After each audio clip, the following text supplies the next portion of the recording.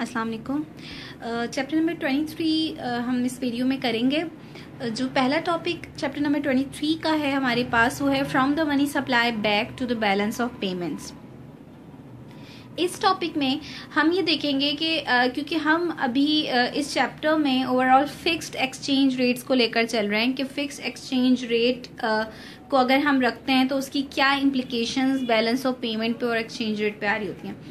तो अगर ऑफिशियल क्योंकि जब फिक्स एक्सचेंज रेट होता है तो फिक्स एक्सचेंज रेट की आ, का मतलब ये है कि सेंट्रल बैंक ने एक जो भी एक्सचेंज रेट चल रहा है वो उस एक्सचेंज रेट से आगे या पीछे नहीं जाना चाहता। यानी जो जो भी सेट किया हुआ है सेंट्रल बैंक ने एक्सचेंज रेट जैसे एक डॉलर को उसने वन थर्टी रुपीज़ के इक्वल जो है वो सेट किया हुआ है। अब अगर किसी भी शॉक की वजह से उसका एक्सचेंज रेट ऊपर उस मतलब उसके एक्सचेंज रेट पे प्रेशर आएगा कि वो इंक्रीज या डिक्रीज हो जाए तो वो थ्रू ऑफिशियल रिज़र्व फाइनेंसिंग के उसको दोबारा से जो है वो अपने प्रीवियस लेवल पे सेट कर देगा।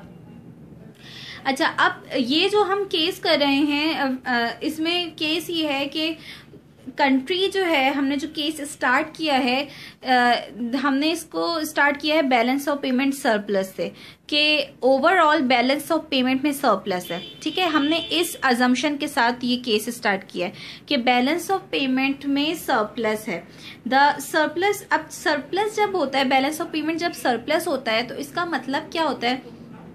कि हम आ, हमारी जो रुपीस की डिमांड है वो बहुत ज़्यादा है। यानी बैलेंस ऑफ़ पेमेंट का सरप्लस का मतलब क्या है कि रुपीस की डिमांड हमारी अपनी करेंसी की डिमांड ज़्यादा है और जो फॉरेन करेंसी है उसकी सप्लाई ज़्यादा है। यानी हर कोई अपनी जो हमारी डोमेस्टिक करेंसी है उसकी डिमांड कर रहा है हर कोई। जिसकी वजह से एक्सचेंज रेट पे प्रेशर है कि वो डिक्रीज हो जाए और हमारी वैल्यू ऑफ़ रुपीज़ इंक्रीज हो जाए और एक्सचेंज रेट डिक्रीज हो जाए ये प्रेशर है एक्सचेंज रेट पे।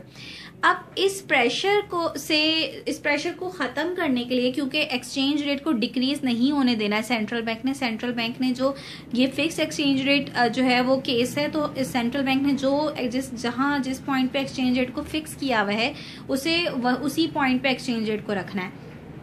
तो सेंट्रल बैंक क्या करेगा?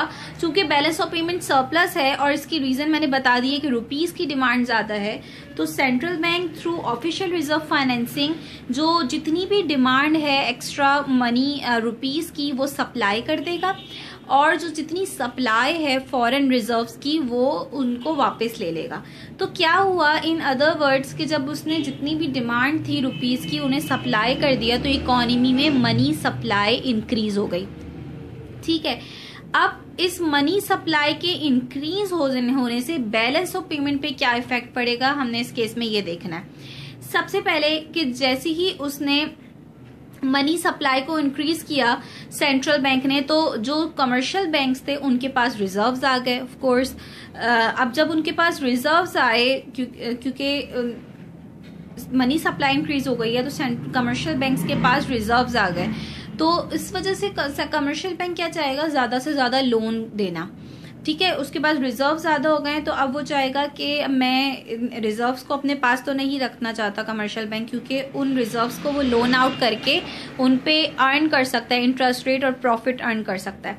तो अब जब रिज़र्व इंक्रीज हो गए कमर्शियल बैंक के तो कमर्शियल बैंक उन्हें लोन देना चाहेगा। अब जब लोन की सप्लाई इंक्रीज हो जाएगी तो लोन की सप्लाई इंक्रीज होते ही इंटरेस्ट रेट डिक्रीज हो जाएगा। ये एक बहुत, एक कॉमन सी चीज़ है कि जब सप्लाई ऑफ़ लोन इंक्रीज हो जाता है तो इंटरेस्ट रेट क्या होता है? डिक्रीज हो जाता है। ठीक है? तो इंटरेस्ट रेट क्या हुआ? डिक्रीज हो गया। अब जब इंटरेस्ट रेट डिक्रीज हो गया तो इस इंटरेस्ट रेट के डिक्रीज होने के दो इम्पैक्ट हैं। At least in the short run इसके बैलेंस ऑफ़ पेमेंट पे जो है वो uh, कुछ इम्पैक्ट पड़ते हैं। एक इम्पैक्ट पड़ता है थ्रू फाइनेंशियल अकाउंट और बाकी कुछ इम्पैक्ट पड़ते हैं थ्रू करेंट अकाउंट सबसे पहले चूँकि हमने यहाँ पे देखा कि मनी सप्लाई के इंक्रीज होने से इंटरेस्ट रेट डिक्रीज हो गया है तो इंटरेस्ट रेट डिक्रीज होने से कैपिटल अकाउंट या फाइनेंशियल अकाउंट पे क्या इफ़ेक्ट पड़ेगा? जब इंटरेस्ट रेट इंक्रीज हुआ तो अब सॉरी डिक्रीज हुआ तो हमारा interest rate foreign interest rate के मुकाबले में चीप हो गया है चीपर हो गया है। तो हमारा इंटरेस्ट रेट जो है, हमारा रिटर्न जो है, वो अनअट्रैक्टिव हो गया है फॉरेनर्स के लिए। हमारे एसेट्स अनअट्रैक्टिव हो गए हैं फॉरेनर्स के लिए। तो यहाँ से हमारी कंट्री से कैपिटल आउटफ्लो होगा, क्योंकि फॉरेन इंटरेस्ट रेट हम रिलेटिव डोमेस्टिक इंटरेस्ट रेट ज़्यादा हो गया है। तो उनके एसेट्स अट्रैक्टिव हो गए। तो यहाँ से भी सब कैपिटल इन्वेस्टमेंट करेंगे बाहर। ठीक है तो कैपिटल आउटफ्लो होगा। कैपिटल आउटफ्लो होने की वजह से जो कैपिटल अकाउंट है, वो डेफिसिट में चला जाएगा। सेकेंड जिसकी वजह से of course balance of payment deficit में जाएगा। और लेकिन ये जो है, ये शॉर्ट रन इफ़ेक्ट है। ये शॉर्ट रन इफ़ेक्ट क्यों है? क्योंकि देखिए कैपिटल आउटफ्लो जब हो रहा होता है ना फाइनेंशियल अभी कैपिटल आउटफ्लो हो रहा है, यानी यहाँ से सब लोग जो है वो बाहर इन्वेस्टमेंट कर रहे हैं।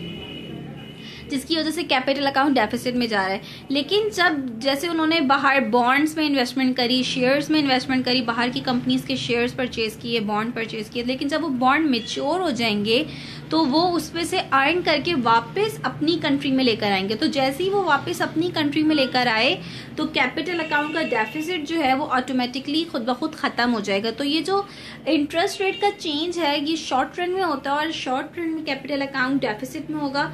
अगर तो वो लॉन्ग रन में वो डेफिसिट खुद ब खुद एलिमिनेट हो जाएगा। तो ये जो इफ़ेक्ट आ रहा है थ्रू फाइनेंशियल अकाउंट ये शॉर्ट रन इफ़ेक्ट है। सेकेंड जो इफ़ेक्ट आता है, वो थ्रू करंट अकाउंट आता है। अब करंट अकाउंट के थ्रू जो है हमारे पास दो इफ़ेक्ट आते हैं। सबसे फ़र्स्ट ये आता है कि मनी सप्लाई की इंक्रीज होने की वजह से अगर रियल इनकम इंक्रीज हो गई, अब रियल इनकम कैसे इंक्रीज होगी कि जब मनी सप्लाई इंक्रीज होती है तो लोगों के पास ज़्यादा पैसा आ जाता है, वो ज़्यादा से ज़्यादा जो है वो स्पेंडिंग करना चाहते हैं मुख्तलिफ़ चीज़ों पे, ठीक है? उनकी demand of goods and services increase हो जाती है। अब जब demand of goods and services increase हुई लोगों की तो क्या हुआ कि प्राइसेस इंक्रीज हो गई, क्योंकि अभी सप्लाई अपनी जगह पर है। प्राइसेस इंक्रीज हो गई तो prices act as an invisible hand it's a signal तो ये सिग्नल जो है वो प्रोड्यूसर्स को जाएगा प्रोड्यूसर्स को पता चलेगा कि हमारी प्रोडक्ट्स की प्राइसेस इंक्रीज हो गई हैं। इसका मतलब ये है कि हमारे गुड्स की डिमांड इंक्रीज हो गई है। जैसे ही ये सिग्नल प्रोड्यूसर्स को पहुंचेगा प्रोड्यूसर्स अपने प्रोडक्शन को इंक्रीज कर देंगे।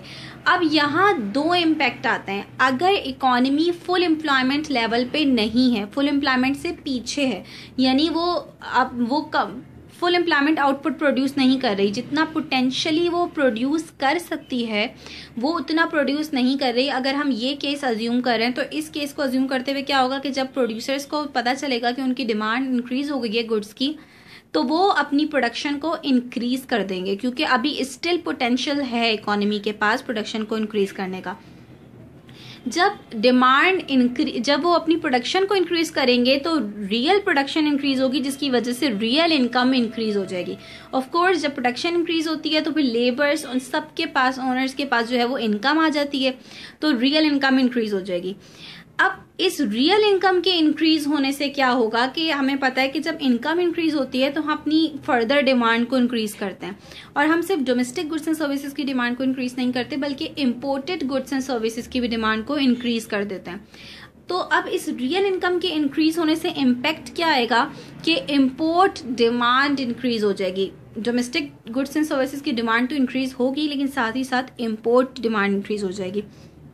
और जब इम्पोर्ट डिमांड इंक्रीज होगी तो ऑफकोर्स इम्पोर्ट और एक्सपोर्ट का जो डिफरेंस है, जिस जो हम इसको नेट एक्सपोर्ट लेते हैं, वो नेट एक्सपोर्ट नेगेटिव होगा, जिसकी वजह से करंट अकाउंट बैलेंस डेफिसिट में चला जाएगा। सेकेंड इम्पैक्ट आता है कि फॉर एग्ज़ाम्पल अज्यूम करें कि इकोनॉमी फुल एम्प्लॉयमेंट पे थी। ठीक है? इकोनॉमी फुल एम्प्लॉयमेंट लेवल पे थी, यानी वो पोटेंशियली अपने सारे जो फैक्टर्स ऑफ़ प्रोडक्शन है, उसको पोटेंशियली अपने फुल लेवल पे जो है वो यूटिलाइज करके प्रोडक्शन कर रही थी। तो अब जब मनी सप्लाई की इंक्रीज होने की वजह से जो लोग हैं वो अपने गुड्स एंड सर्विसेज़ की डिमांड इंक्रीज करेंगे, जिससे प्राइसेस इंक्रीज हो जाएँगी। और इन प्राइसेस के इंक्रीज होने के की वजह से जो प्रोड्यूसर्स के पास सिग्नल जाएगा कि हमारे गुड्स की डिमांड इंक्रीज हो गई है, लेकिन सप्लाई इंक्रीज नहीं हो सकती इस केस में।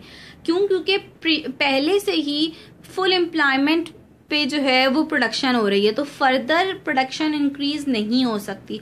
जिसकी वजह से क्या होगा, सिर्फ़ डिमांड इंक्रीज होगी सप्लाई अपनी जगह पे रहेगी और प्राइस लेवल इंक्रीज हो जाएगा। और आपको पता है कि जब प्राइस लेवल इंक्रीज होता है तो कंट्री जो है, वो अपनी गुड्स एंड सर्विसेज़ की इंटरनेशनल मार्केट में कम्पिटिटिवनेस जो है, वो लूज कर देता है। जब प्राइसेस इंक्रीज होती हैं तो इसका मतलब ये होता है कि हमारे गुड्स एंड सर्विसेज़ की प्राइसेस इंक्रीज हो गई हैं, वो एक्सपेंसिव हो गए हैं इंटरनेशनल मार्केट में। तो जब वो एक्सपेंसिव हो जाएँगे तो दूसरे कंट्रीज़ हमसे जो है, वो कम एक्सपोर्ट जो है, वो इम्पोर्ट करेंगे, यानी हमारी एक्सपोर्ट डिक्रीज हो जाएगी। और जब हमारी एक्सपोर्ट डिक्रीज होगी तो नेट एक्सपोर्ट डिक्रीज हो जाएगा और इस इस प्रोसेस के थ्रू भी करंट अकाउंट जो है वो डेफिसिट में चला जाएगा। तो ओवरऑल हमने देखा कि इंटरेस्ट रेट डिक्रीज होने का जो फाइनेंशियल अकाउंट पे इफ़ेक्ट पड़ रहा है, वो भी नेगेटिव इफ़ेक्ट है, उससे फाइनेंशियल अकाउंट डेफिसिट में जा रहा है और बैलेंस ऑफ़ पेमेंट डेफिसिट हो रहा है। इन द शॉर्ट रन और करंट अकाउंट पे जो हमने दो केसेस देखे, उन दोनों केसेस के थ्रू एक रियल इनकम के थ्रू जिससे इम्पोर्ट डिमांड इंक्रीज हो रही है और एक प्राइस लेवल के इंक्रीज होने के थ्रू जिससे एक्सपोर्ट जो है वो डिक्रीज हो रही है और दोनों के थ्रू जो है वो नेट एक्सपोर्ट नेगेटिव हो रही है जिसकी वजह से करंट अकाउंट डेफिसिट में जा रहा है। तो इंटरेस्ट रेट डिक्रीज होने की वजह से फाइनेंशियल अकाउंट में भी, भी डेफिसिट होगा करंट अकाउंट में भी डेफिसिट होगा और ओवरऑल बैलेंस ऑफ़ पेमेंट जो है वो डेफिसिट में चली जाएगी वर्स कंडीशन हो जाएगी वर्सन हो जाएगी। इसी का बिल्कुल सेम यही प्रोसेस जो है वो इस ग्राफ में जो है वो डिफाइन हो रहा है कि इकोनॉमी जो है वो पहले बैलेंस ऑफ़ पेमेंट सरप्लस में था, उस सरप्लस को एलिमिनेट करने के लिए, क्योंकि एक्सचेंज रेट पे प्रेशर आ रहा था उस बैलेंस ऑफ़ पेमेंट सरप्लस का सेंट्रल बैंक ने मनी सप्लाई इंक्रीज कर दी। जैसे ही उसने मनी सप्लाई इंक्रीज करी इंटरेस्ट रेट डिक्रीज हो गया। क्यों इंटरेस्ट रेट डिक्रीज हुआ, इसका प्रोसेस भी मैंने बता दिया, क्योंकि मनी सप्लाई इंक्रीज होने की वजह से कमर्शियल बैंक के पास रिज़र्व ज़्यादा आ गए थे और वो अब ज़्यादा से ज़्यादा लैंड करना चाह रहे थे। जब सप्लाई ऑफ़ लोन इंक्रीज हो गई तो इंटरेस्ट रेट डिक्रीज हो गया। ठीक है? अब इस इंटरेस्ट रेट डिक्रीज होने का एक इम्पैक्ट क्या आ रहा था? कि कैपिटल आउटफ्लो हो रहा था, ठीक है? हमारा, हमारे एसेट्स अनअट्रैक्टिव हो गए थे फॉरेनर्स के लिए। कैपिटल फ्लो आउट हो रहा था, जिसकी वजह से फाइनेंशियल अकाउंट जो है वो डेफिसिट में जा रहा था। सेकेंड इम्पैक्ट क्या आ रहा था? कि इंटरेस्ट रेट ड्रॉप होने की वजह से इन्वेस्टमेंट और कंजम्पशन जो है ये इन आ, ये इंक्रीज हो रही थी क्योंकि कॉस्ट ऑफ़ बोरिंग डिक्रीज हो गई थी। तो इन ये रियल स्पेंडिंग प्रोडक्शन और इनकम जो है वो इकोनॉमी की इंक्रीज हो रही थी। ओवरऑल जिसकी वजह से प्राइस लेवल इंक्रीज हो रहा था। और इस प्राइस लेवल के इंक्रीज होने की वजह से डिमांड इंक्रीज हो गई थी सप्लाई अपनी जगह पे थी प्राइसेस इंक्रीज हो गई। इस प्राइसेस ने ओवरऑल करंट अकाउंट को के बैलेंस को डेफिसिट में किया। और यहाँ से कैपिटल अकाउंट डेफिसिट में जा रहा है यहाँ से करंट अकाउंट डेफिसिट में जा रहा है। ओवरऑल बैलेंस ऑफ़ पेमेंट जो है वो डेफिसिट में चला गया। तो देखिए हमने स्टार्ट कहाँ से किया था? बैलेंस ऑफ़ पेमेंट सरप्लस से। और फिक्स एक्सचेंज रेट के थ्रू इस तरह का प्रोसेस हुआ कि in the end balance of payment जो है वो डेफिसिट में चला गया। तो ये सरप्लस डेफिसिट में जो है वो आ, वो ट्रांसफ़र हो गया। तो खुद ब खुद जो है वो इफ़ेक्ट जो है वो बैलेंस ऑफ़ पेमेंट का एलिमिनेट हो जाएगा in fix exchange rate because of official reserve financing अच्छा इसी को अगर हम एक ग्राफ के थ्रू देखें हम एक ग्राफ ड्रॉ करते हैं यहाँ पे।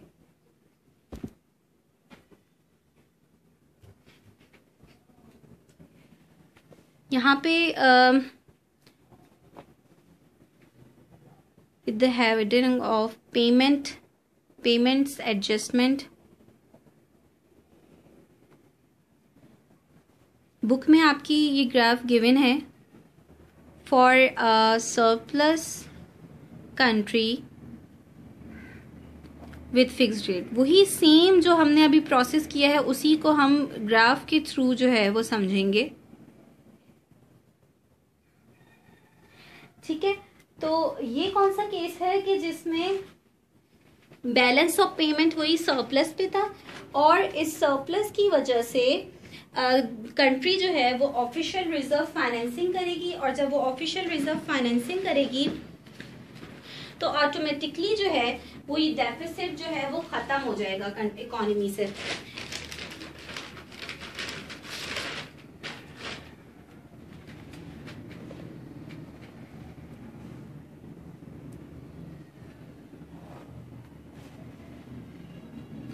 यहाँ पे हम तीनों मार्केट को जो है वो टुगेदर कंबाइन कर रहे हैं। एक हमारी गुड मार्केट है, जिसको हम आई एस कर्व से शो कर रहे होते हैं।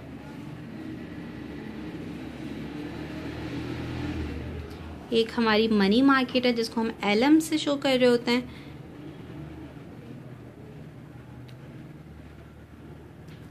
और एक हमारी जो है, वो बैलेंस ऑफ़ पेमेंट लाइन या एफ़ ई लाइन है, यानी फॉरेन एक्सचेंज लाइन है।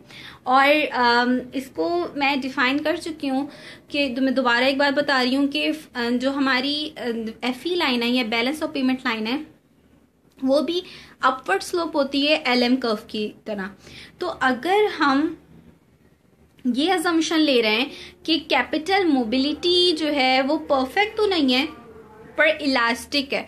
यानी इंटरेस्ट रेट के चेंज ज़रा से चेंज होने की वजह से कैपिटल बहुत ज़्यादा तादाद में जो है वो मोबाइल हो रहा है, एक जगह से दूसरी जगह शिफ्ट हो रहा है, जिसकी वजह से कैपिटल अकाउंट में सरप्लस क्रिएट हो रहा है बहुत ज़्यादा। यानी ज़रा सा इंटरेस्ट रेट का चेंज जो है वो कैपिटल अकाउंट में बहुत ज़्यादा सरप्लस क्रिएट कर रहा है। इस केस जब हम ये केस ले रहे होते हैं कैपिटल मोबिलिटी का which is near to perfect capital mobility तो हमारा जो बैलेंस ऑफ़ पेमेंट कर्व है वो एल एम कर्व के मुकाबले में फ्लैट बन रहा होता है। ठीक है? लाइक दिस अच्छा अब यहाँ पे एक चीज़ है कि यहाँ पे हम अजम्पन ये ले रहे हैं क्योंकि हमें, हमने ये बात देखी भी है कि अगर आई एस एल एम की intersection balance of payment line से नीचे हो तो ये आपको शो कर रही होती है कि जो बैलेंस ऑफ़ पेमेंट है वो डेफिसिट में है। यानी आईएसएलएम की इंटरसेक्शन अगर बैलेंस ऑफ़ पेमेंट लाइन से नीचे होगी तो डेफिसिट शो कर रही होगी। अगर आईएसएलएम की intersection balance of payment line से ऊपर होगी तो वो या एफई लाइन e से ऊपर होगी तो वो सरप्लस शो कर रही होगी। ठीक है, लेकिन यहाँ तो क्या है ये तीनों इक्वल हैं? लेकिन हमें क्या करना है? हमें इस इस ग्राफ को यहाँ से स्टार्ट नहीं करना। हमें इक्विलिब्रियम से स्टार्ट नहीं करना। हमें ये अजम्पन लेनी है फॉर एग्ज़ाम्पल कि हमारा जो आ, जो असल जो एल एम कव है वो ये था ये है। इकोनॉमी यहाँ से जो है वो स्टार्ट हुई है। क्यों? ये आपको एल एम कव ये आपका प्रीवियस एल एम कव और ये आपका प्रीवियस आई एस कव इसकी इंटरसेक्शन कहाँ हो रही है? बैलेंस ऑफ़ पेमेंट लाइन से ऊपर हो रही है ठीक है? यहाँ पे इंटरेस्ट रेट है ज़ीरो पॉइंट ज़ीरो सेवन ये पॉइंट ए है और आउटपुट है हंड्रेड। ये वही केस है जो हमने अभी पीछे समझा है कि इकोनॉमी स्टार्ट हुई है बैलेंस ऑफ़ पेमेंट सरप्लस से। बैलेंस ऑफ़ पेमेंट सरप्लस में और ये सरप्लस कैसे शो हो रहा है हमें कि बैलेंस ऑफ़ पेमेंट लाइन से ऊपर आई एस एल एम की इंटरसेक्शन हो रही है। ठीक है? अब जब बैलेंस ऑफ़ पेमेंट सरप्लस में है तो हमने क्या देखा था कि सरप्लस का मतलब क्या है कि रुपीज़ हमारी करेंसी की डिमांड जो है वो बहुत ज़्यादा है। और फॉर एग्ज़ाम्पल डॉलर्स की सप्लाई ज़्यादा है। एक्सचेंज रेट पे क्या प्रेशर है? हमारी करेंसी पे क्या है कि रुपीज़ जो है वो अप्रिशिएट हो? ये प्रेशर है कि रुपीज़ की वैल्यू इंक्रीज हो अप्रिशिएट हो? और सैमिल्टेनियसली एक्सचेंज रेट डिक्रीज हो, क्योंकि इन दोनों का आपस में रेसिप्रोकल रिलेशनशिप है। ठीक है तो प्रेशर क्या है एक्सचेंज रेट पे कि वो डिक्रीज हो जाए जबकि हम कौन सा केस कर रहे हैं? फिक्स्ड एक्सचेंज रेट का, जिसमें इकोनॉमी जिसमें सेंट्रल बैंक को एक्सचेंज रेट उसी लेवल पे रखना है, जिस लेवल पे उसने फिक्स किया हुआ है। इस प्रेशर को जो एक्सचेंज रेट पे आ रहा है एलिमिनेट करने के लिए ये प्रेशर किस वजह से आ रहा है? क्योंकि रुपीज़ की डिमांड इकोनॉमी में ज़्यादा हो गई है, और डॉलर की सप्लाई या किसी भी फॉरन एक्सचेंज रिज़र्व की सप्लाई इंक्रीज हो गई है। इस प्रेशर को एलिमिनेट करने के लिए सेंट्रल बैंक क्या करेगा? वो जितनी भी एक्स्ट्रा डिमांड है रुपीज़ की, वो सप्लाई कर देगा मार्केट में इकोनॉमी में, और जितनी भी एक्स्ट्रा सप्लाई है फॉरेन एक्सचेंज रिज़र्व की, उसको वापस ले लेगा। तो जितनी भी एक्स्ट्रा डिमांड है, जब वो सप्लाई करेगा रुपीज़ की सप्लाई करेगा इकोनॉमी में तो क्या होगा? इस ऑफिशियल रिज़र्व फाइनेंसिंग की वजह से क्या होगा? मनी सप्लाई इंक्रीज हो जाएगी इकोनॉमी में। ठीक है? और जैसे ही मनी सप्लाई इंक्रीज होगी, हमारा एल एम कर्व शिफ्ट होगा। और एल एम कर्व शिफ्ट होके हम इस पॉइंट पे आ जाएँगे पॉइंट ई e पे। जहाँ आपका इंटरेस्ट रेट जो है वो डिक्रीज हो जाएगा। क्योंकि मनी सप्लाई इंक्रीज हुई है तो इंटरेस्ट रेट डिक्रीज होगा। और आउटपुट जो है वो इंक्रीज हो जाएगा। देखिए, ये वही वाली कंडीशन है। उसके बाद क्या हुआ? पहले सरप्लस में थी ठीक है? उसके बाद जब ऑफिशियल रिज़र्व फाइनेंसिंग के थ्रू मनी सप्लाई इंक्रीज हुई तो इंटरेस्ट रेट डिक्रीज हो गया। अब रिकॉल करें, मैंने क्या बताया था कि इंटरेस्ट रेट डिक्रीज होने की वजह से कैपिटल आउटफ्लो होगा, जिसमें, जिसकी वजह से आप in the short run financial account पे लूज करेंगे फाइनेंशियल अकाउंट डेफिसिट में जाएगा। और आउटपुट के इंक्रीज होने की वजह से दो इफ़ेक्ट आएँगे। एक प्राइस लेवल इंक्रीज होगा और दूसरा क्या होगा कि आउटपुट और इनकम के इंक्रीज होने की वजह से हम इम्पोर्ट डिमांड इंक्रीज कर देंगे। जब क्योंकि हमारी नेट एक्सपोर्ट किसके इक्वल है? एक्सपोर्ट माइनस इम्पोर्ट ठीक है? तो दो इम्पैक्ट क्या आ रहे हैं? करंट अकाउंट के फ़र्स्ट इम्पैक्ट अगर फुल एम्प्लॉयमेंट पे है इकोनॉमी तो आउटपुट के ये आउटपुट तो इंक्रीज होगा नहीं, सिर्फ़ डिमांड इंक्रीज होगी। इंटरेस्ट रेट डिक्रीज होने की वजह से हम अपनी इन्वेस्टमेंट डिमांड और कंजम्पशन डिमांड को इंक्रीज कर देते हैं, जिसकी वजह से एग्रीगेट डिमांड इंक्रीज हो जाती है। लेकिन अगर इकोनॉमी अपने फुल एम्प्लॉयमेंट लेवल पर है तो सप्लाई ज़रा सी भी इंक्रीज नहीं होगी, जिसकी वजह से प्राइसेस इंक्रीज हो जाएँगी। और प्राइसेस जब इंक्रीज होंगी तो हम इंटरनेशनल मार्केट में हमारी गुड्स की कॉम्पिटिटिवनेस जो है वो ख़त्म हो जाएगी। और हमसे जो है लोग एक्सपोर्ट जो है वो कम करेंगे, यानी इंपोर्ट कम करेंगे और हमारी एक्सपोर्ट डिमांड डिक्रीज हो जाएगी और ओवरऑल नेट एक्सपोर्ट डिक्रीज हो जाएगा। सेकेंड इम्पैक्ट क्या है कि फॉर एग्ज़ाम्पल इकोनॉमी अपने फुल एम्प्लॉयमेंट लेवल पे नहीं थी तो आउटपुट इंक्रीज होने की वजह से या इनकम इंक्रीज होने की वजह से लोगों ने ना सिर्फ़ डोमेस्टिक गुड्स की डिमांड इंक्रीज करी, बल्कि इम्पोर्ट डिमांड भी इंक्रीज कर दी। जब उन्होंने इम्पोर्ट डिमांड इंक्रीज करी तो इम्पोर्ट डिमांड इंक्रीज हुई ये नेगेटिव टर्म इंक्रीज हो रही है ओवरऑल नेट एक्सपोर्ट डिक्रीज हो गया। तो दोनों सूरतों में नेट एक्सपोर्ट डिक्रीज हो रहा है, जिसकी वजह से करंट अकाउंट जो है, वो डेफिसिट में जा रहा है। तो बताना ये था कि इंटरेस्ट रेट डिक्रीज होने की वजह से करंट अकाउंट में भी डेफिसिट हो रहा है कैपिटल अकाउंट में भी डेफिसिट हो रहा है और बैलेंस ऑफ़ पेमेंट डेफिसिट में जा रहा है। तो बैलेंस ऑफ़ पेमेंट पहले सरप्लस में था और ऑफिशियल रिज़र्व फाइनेंसिंग के थ्रू जब आपने मनी सप्लाई इंक्रीज करी तो वो डेफिसिट सरप्लस कन्वर्ट होके क्या हुआ?